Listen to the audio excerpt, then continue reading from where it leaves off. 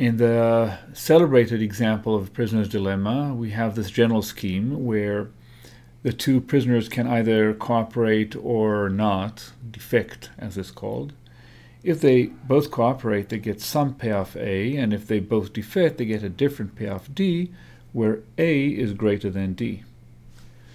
However, if they miscoordinate and one of them cooperates and the other defects, then the cooperator gets the lowest possible payoff and the defector gets the largest possible payoff. And that's true symmetrically here as well. And this uh, a very well-known example that has a rather counterintuitive uh, paradoxical properties. Um, most games uh, are not as uh, conceptually uh, confusing. Here's an example that's conceptually very clear, and these are games of pure competition.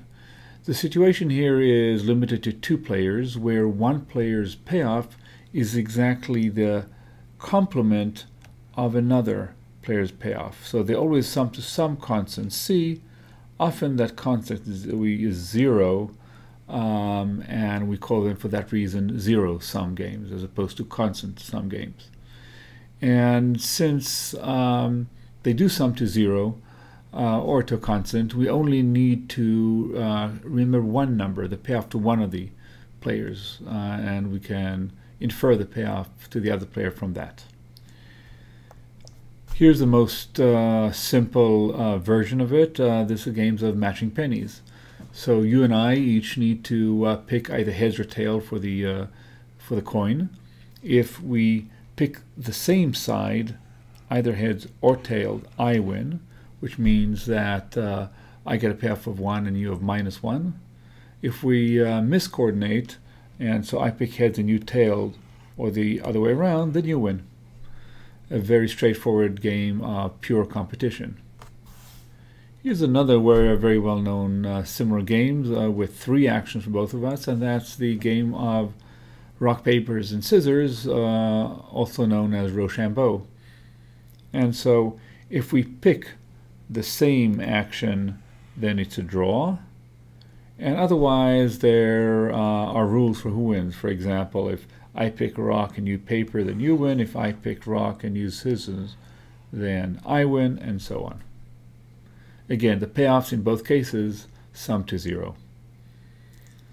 Uh, just parenthetically, um, this very simple children game um, actually has an annual competition that carries uh, a non-trivial prize of $10,000. And it's actually a sobering thought that uh, when we look at this trivial game then uh, perhaps chuckle a little bit, if we actually participate in this competition, uh, we'd actually think hard about how to play it. Here's the other extreme of uh, games of pure uh, coordination or pure cooperation. In this case, uh, all agents have exactly the same interest. In other words, their payoffs for every uh, action uh, vector that they uh, take is the same. And so the utility for player I is always the same of utility for player J for every action action vector that they choose. And so again, we here too, we only need to uh, write in each cell of the matrix only one number because it's common to all the players. It drives home the perhaps the uh, unfortunate term uh, non-cooperative game theory that describes this dominant strand of game theory we're discussing for now. Uh, it's uh, the name would suggest that these are games for uh, that describe situations that are inher inherently conflictual, uh, but as we see, uh, they apply also to games in which the interests of the players uh, coincide. So here's a here's a game that uh, describes the uh, a, purely uh, co cooperative situation.